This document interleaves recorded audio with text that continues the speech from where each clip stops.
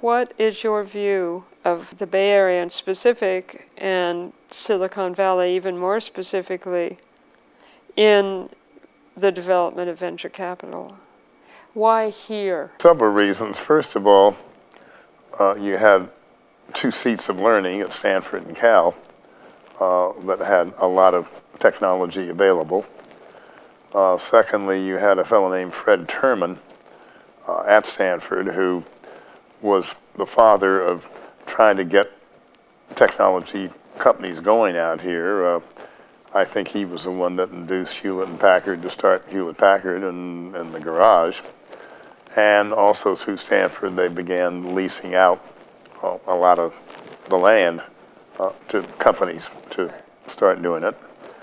Um, the climate, of course, is very important because so many people in World War II and in the Korean War coming from other parts of the country would go through here and see what the climate was like. And when they came back, they didn't want to go home to their snowy winters. Uh, and added into that is the fact, and part of it, is that so many people moved here.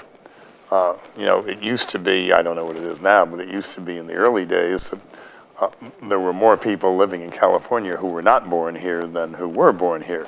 They all came from someplace.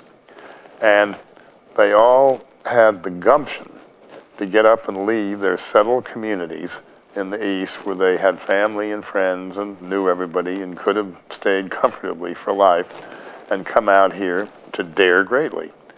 And to me, California has always been a place to dare greatly, starting with the gold rush. And uh, I, of course, knew about it from my early history uh, and for the library, and the fact that my great-grandfather came out during the gold rush. But uh, I've always felt that it was the go-to place uh, to get things done. And as I said a little bit earlier, you weren't scared to make a mistake here. You'd yeah. dust yourself off and start again.